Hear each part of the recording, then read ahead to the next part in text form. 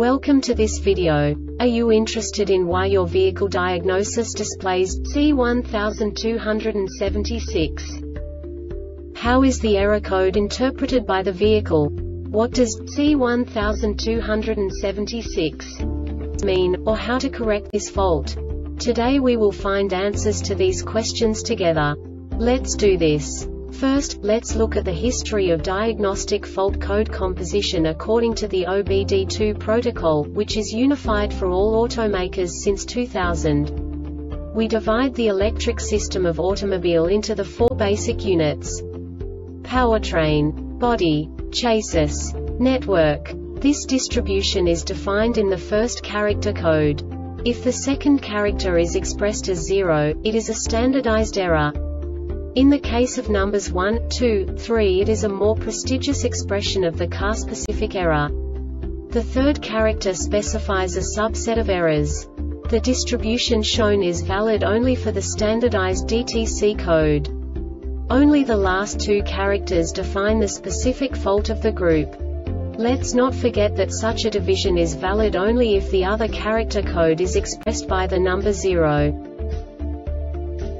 Our website airbagreset.sk produces useful videos for you.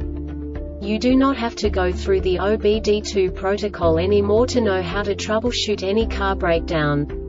You will find all the diagnostic codes that can be diagnosed in Cadillac vehicles. Also many other useful things. The following demonstration will help you look into the world of software for car control units. You unbelievably can move the video a bit further. The error code is split into two bytes consisting of 16 bits. One bit is the basic unit that each computer works with. The bit has two logical states. 0, low level, 1, high level. By combining the first two bits, the basic character of the error code is expressed. The next two bits again determine the second character. The last beat styles of the first byte define the third character of the code.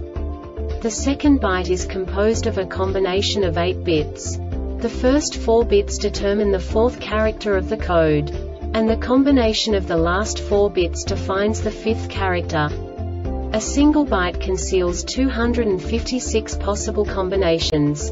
We now know in what way the diagnostic tool translates the received information into a more comprehensible format.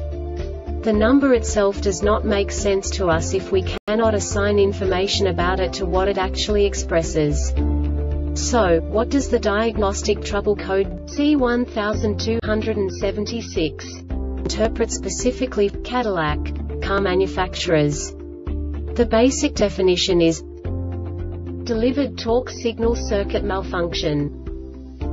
And now this is a short description of this DTC code. The engine is running. This diagnostic error occurs most often in these cases. An open in the delivered torque circuit and short to ground or voltage in the delivered torque circuit or wiring problem, terminal corrosion, or poor connection in the delivered torque circuit. The Airbag Reset